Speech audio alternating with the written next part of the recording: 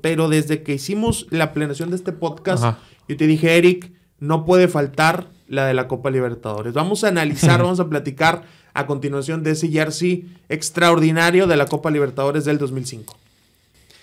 Y aquí la tenemos, una de las piezas, yo creo que de las más bonitas que tiene Tigres en su historia, lo que presentaron en la Copa Libertadores de América edición 2005. Esa Copa Libertadores que fue un parteaguas para muchos aficionados tigres, como que se dieron cuenta que querían ese trofeo, se dieron cuenta de, lo bonito que es participar en esa, en esa competencia. Y la verdad, Eric, es uno de los jerseys, al menos en los últimos años, de los que más busca la gente, ¿verdad? Sí, la, la Libertadores del 2005 es un bonito una bonita camiseta. A veces ya les digo yo camisetas y a veces jerseys, camisetas es lo mismo, ¿no? Entonces, eh, sí, totalmente. Es una de las más em, también que les gusta a la raza. sobre todo por, por el papel y porque fue la primera vez que Tigres participó en una, en una Copa Libertadores. Nos, por ahí llegamos creo que hasta cuartos eh, con Sao Paulo, contra el Sao Paulo de Rolloeiro. Eh, y pues bueno, creo que se hizo un buen papel. Yo creo que por eso la raza o, la gente le tiene mucho cariño y aprecio esta camiseta. Sí, hay, hay muy buenos recuerdos de eso. Algunos de los detalles que vemos es el escudo con ese contorno en blanco que lo resalta, que lo hace ver bastante bien. Lo, lo, que platicábamos también, que al final de cuentas es la época, no dos años de diferencia, pero el tema del Olimpio que se ve a nivel de patrocinadores el frente. Está Cemex en la franja que tiene Tigres, una de las, de las cosas clásicas que tiene la institución.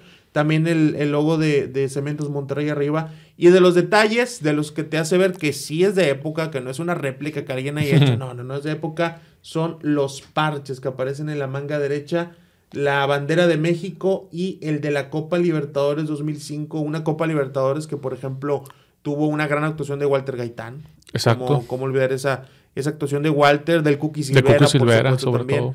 Una muy buena representación de, de Tigres eh, a nivel continental, haciendo ver bien a México en esas competencias, ¿no? Exacto, y también grandes jugadores la, la, la pudieron portar, digo, Chango Moreno, por ejemplo, que hace poco falleció, Salvador Cabañas, eh, creo que Barbosa de Jaguares también la, utilizó, o era, refuerzo en ese tiempo. El Mumo Peralta. El Mumo Peralta, exactamente, traía el 10. E incluso uno de los, de los jugadores que ahora están del lado contrario, que hicieron más historia del lado contrario, Aldo de Nigris. Ándale. En aquella Copa Libertadores también, ¿verdad? Hizo unos goles allá en Chile, sí recuerdo.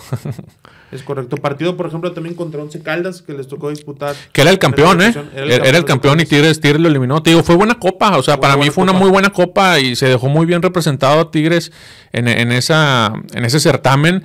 Y bueno, hablando específicamente un poquito del diseño, es como puedes ver, el, no es amarillo, es color como azul y oro, por así decirlo.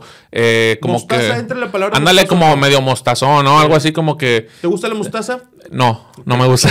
Exacto. Antes me decían.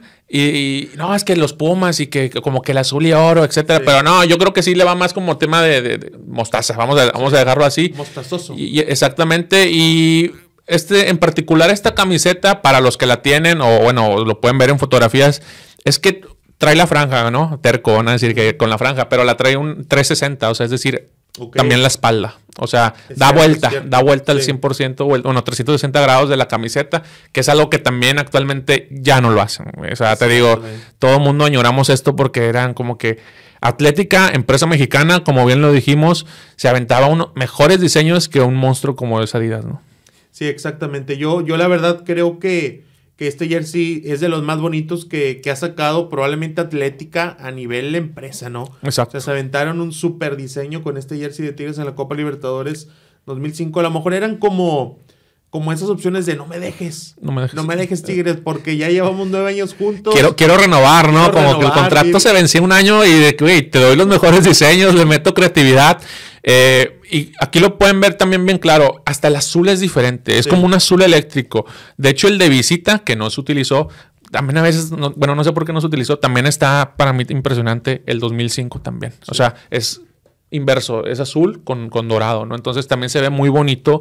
Y pues como dices, ¿no? Yo creo que son los últimos guiños que le hacía Atlética Tigres, ¿no? Oye, y ahora que estamos repasando los jerseys de Atlética de cuando le tocó vestir a Tigres a lo largo de 10 años. ¿Este crees que sea el número uno?